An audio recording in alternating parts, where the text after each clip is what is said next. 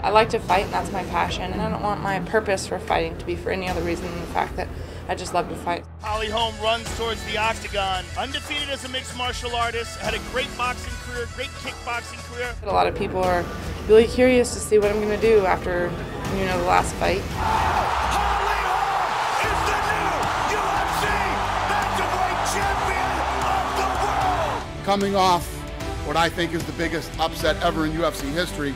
Holly Holm versus Miesha Tate. This is going to be a tough fight. In a lot of ways, she can present more difficulties for me. Miesha Tate, she is one of the best of all time. She can let her technique work for her and change the tempo of the fight when she chooses to. Miesha's very well rounded and she's very good in the scrambles. She's a good scrapper. Oh my! Haymaker! Right. She doesn't ever get too overwhelmed. She's never, you know, backing down. She's been down in round one and come back and won in rounds two and three, so that's always something to fear in an opponent. Uh-huh. Third round, this is the Miesha Tate we know and love. She was coming on strong, really attacking. I feel like it's going to be a pretty high-paced fight.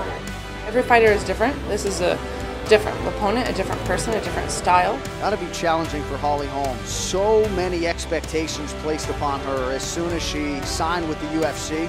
It doesn't matter what fight it is. There's always going to be pressure. I like it. We're going to be ready for it. Got to be ready to, to show them something new.